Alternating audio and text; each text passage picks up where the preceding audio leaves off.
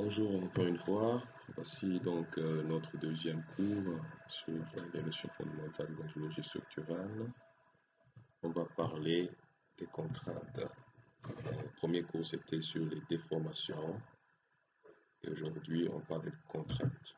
Pour rappel, voici donc les deux notions fondamentales pour la géologie structurale, les contraintes et la déformation. Uh, so as I'm saying, this is our second course on uh, fundamental basis for geological structure. Structure geology talking about stress and strain. So last time we told uh, we talked about strain, la deformation, and today we're talking about stress or contraint. So this is uh, me again, this is Raha, as uh, you have heard in the welcome message. The objectives today are to see uh, and recognize different types of constraint and you will be able to define it. And the other objective is to be able to explain the ellipsoid of stress and the tensors of stress. Um, lastly, we will be able to define the relationship between stress and strain. Donc, euh, ceux qui comprennent plus le français, vous pouvez lire exactement ce que je viens d'expliquer en anglais. Le plan, on va d'abord définir les contraintes, we define stress, the contraint, the decomposition of a stress on the plan. We will see triaxial stress defined by an ellipsoid of tensors and ellipsoid of stress and tensors of stress. An ellipsoid of stress will be seen more uh, focusedly and we can decompose the ellipsoid of uh, stress. Lastly, we will see it is very important relationship between stress and strain. La relation géométrique, geometrical relationship. There is a relationship, and let's see what it is.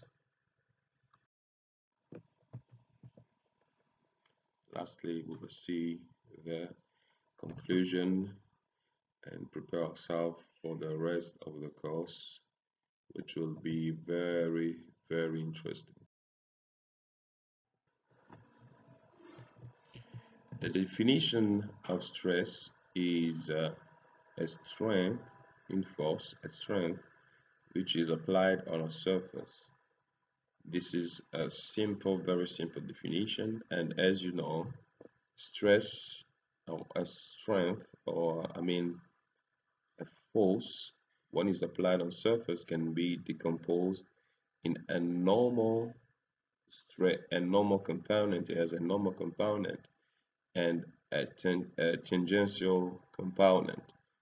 This is uh, as in all the science, this is how we uh, uh, decompose a force.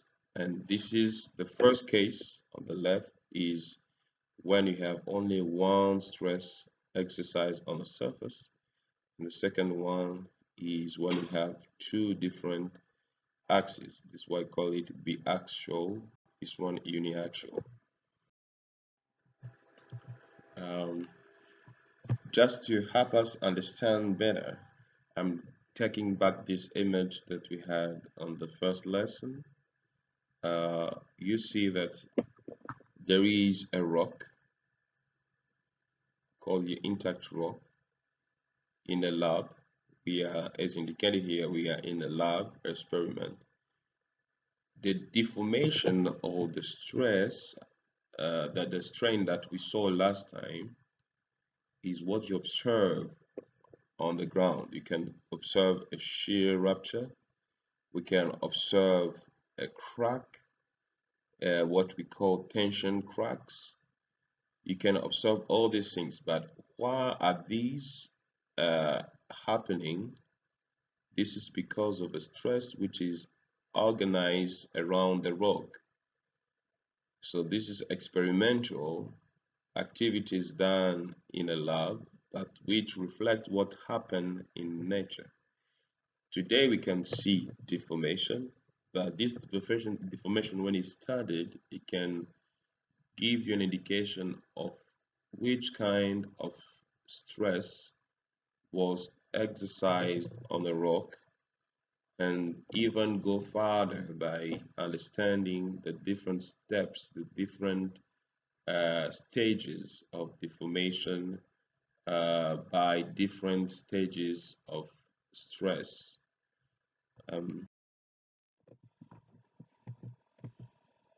this is another image I'm dropping from one of the lessons to come just to give you an indication of how in nature you can finally find your chances or your the directions of your stress uh, in a values this is a house this is a lake. See that one of them is always parallel to the surface one of them is always parallel but this we will see uh, in more details in future. As we say let's define uh, or see what an ellipsoid or a tensor can be uh, about. But before that we are seeing this image to show you that there is uh, a normal composition component and a tangential component as we see so the two are not exercising the same uh, the same strength or the same direction or their uh, impact is not the same in one point. Let's say in point zero here you have the maximum the normal um, component is at its maximum but the tangential one is at the middle. While when you are almost a hundred, a hundred you're gonna have the minimum of the normal and the middle at uh, tangential okay um so this is the ellipsoid it says uh, uh, uh, has it has three main components which this is how we do this is how we draw it schematically to just show you um, to try help ourselves to understand what is the stress which is exercised in one particular point. What is the stress? So we define um, a sigma 1 a sigma 2 and a sigma 3 so the sigma 1 should be the high the highest stress the most impact or the most stress which is exercised in one point the sigma 2 is the the middle one and the sigma 3 has to be the minimum one. So just to have a comparison with and reminding you the ellipsoid of uh, deformation of, of strain uh, to compare uh, how we define or how we draw it uh, the three axes here for an ellipsoid of stress are sigmas. They are presented as sigmas. Here it's x y and z. X x being the highest uh, the, the, the axis of the highest deformation. Y being the medium. X being the minimum. Now ones may say ah so this is normal. When you have your sigma 1 is where you have your maximum. Okay this is an ellipsoid of deformation is what is drawn here. So we may believe that the ellipsoid of uh, deformation may coincide with an ellipsoid of uh, uh, uh, stress but it's not always the case because in nature you never have a perfect let's say coaxial. You're gonna see it in the notes. Uh, a perfect coaxial uh, deformation.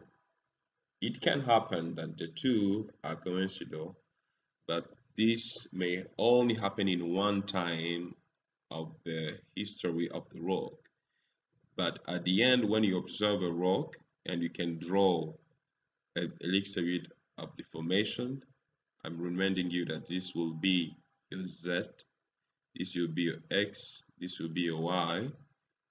Sometimes you find their sigmas are deviating like you have as we say our deformation is generally rotational. So it will a bit deviate and creating all the structures that uh, we can see on the ground and which we will see uh, very soon as we are progressing in the course.